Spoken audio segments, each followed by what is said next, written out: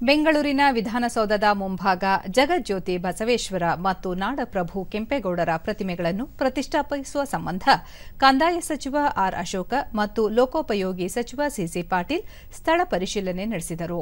ಮುಖ್ಯಮಂತ್ರಿ ಬಸವರಾಜ ಬೊಮ್ಮಾಯಿ ಸೂಚನೆ ಮೇರೆಗೆ ಸಚಿವದ್ವಯರು ಸ್ಥಳ ಪರಿಶೀಲನೆ ನಡೆಸಿ ಪ್ರತಿಮೆ ಸ್ಥಾಪನೆಯ ನೀಲನಕ್ಷೆ ಹಾಗೂ ಪ್ರತಿಮೆಯ ಮಾದರಿಗಳನ್ನು ವೀಕ್ಷಿಸಿದರು. ಈ ತಿಂಗಳಲ್ಲೇ ಶಂಕುಸ್ಥಾಪನೆ ನೆರವೇರಿಸಲು ನಿರ್ಧರಿಸಲಾಗಿದೆ ಎಂದರು. ಎರಡು ಪ್ರತಿಮೆಗಳು ಅಶ್ವಾರೂಢ ಭಂಗಿಗಳಲ್ಲಿದ್ದು ತಲಾ ನಾಲ್ಕು ಮೀಟರ್ ಎತ್ತರ ಹೊಂದರಲಿವೆ ಎಂದು ಅಧಿಕಾರಿಗಳು ವಿವರಿಸಿದರು.